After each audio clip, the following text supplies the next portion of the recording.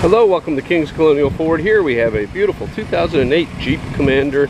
Uh, this is a full-size SUV. It's very roomy. Lots of cargo space. Nice powerful 3.7 liter V6. We got a new set of tires on there. Dark metallic green looks great with kind of a beige cloth interior and the interior is pretty clean too. This is this is a nice old SUV right here. Uh, has a fold down armrest.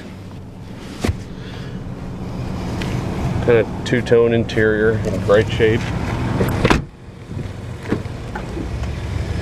Power windows, power door locks, power mirror controls all in the door panel, power driver seat.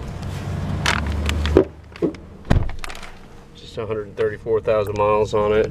Uh, your vehicle menu screens are controlled with this button and information here this other button on the steering wheel and cruise control is just below that. And of course in the center stack you have all of your um, your audio and uh, climate control settings and plus Bluetooth connectivity on this vehicle. Twin power outlets underneath the dash there automatic transmission large storage console so if you're in the market for a pre-owned SUV like this, come down to King's Colonial Ford and take this Commander for a test drive. Thank you for watching.